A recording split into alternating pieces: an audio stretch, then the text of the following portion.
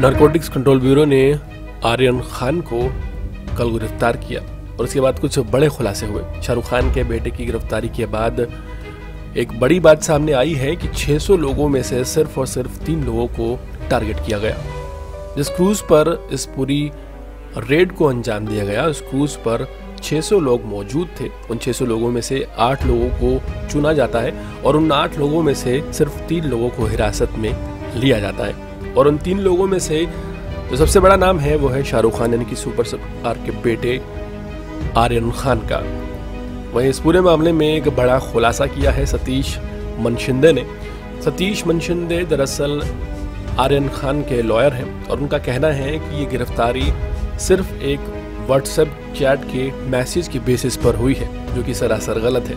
और इसके पीछे एक साजिश है, इससे इनकार नहीं किया जा सकता, क्योंकि 600 लोगों में से टारगेट करके शाहरुख खान के बेटे को ही गिरफ़्तार किया गया है। वहीं दूसरी तरफ़ नारकोटिक कंट्रोल ब्यूरो भी ये कह रहा है कि हम गिरफ्तारी की मांग नहीं करेंगे, और वो क्यों कह रहा है, ये सोचने पर मजबूर करता है।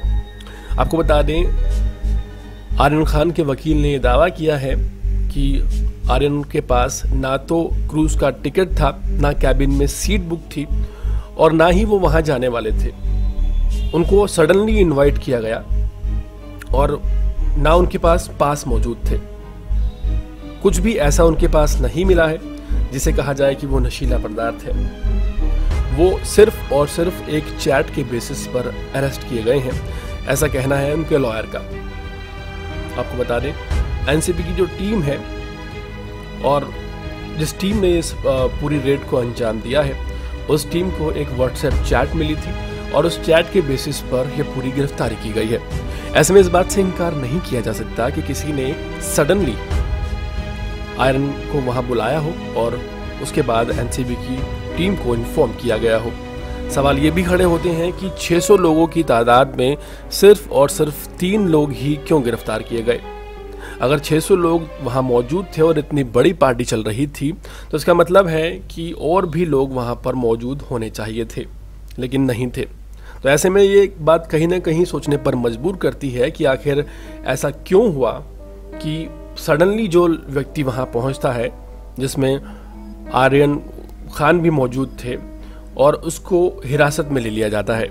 शाहरुख खान के बेटे के लेकर किस तरह की साजिश चल रही है, इस बात से इनकार हाल फ़िलहाल नहीं किया जा सकता। वेल पूरा मामला अंडर इन्वेस्टिगेशन है और चल रही है इन्वेस्टिगेशन हाल ही में सुनवाई होने वाली है और इसके बाद पता चल जाएगा कि आखिर किस तरह का जजमेंट सामने आता है और क्या सज़ा सुनाई जाती है या नहीं सुनाई जाती है। हाल फ़िलहाल अगर शाहरुख खान के बेटे की वकील की माने तो ये एक साजिश है और उन्हें फंसाने की पुरजोर कोशिश की जा रही है। पूरे मामले पर अपनी राय देना बिल्कुल ना भूलें और इसी तरह की ताज़ा तरीन अपडेट छोड़े रहने के लिए हमारे चैनल को सब्सक्राइब करें, ताकि आप तक पहुँचता रहे हमारा हर लेटेस्ट अपडेट।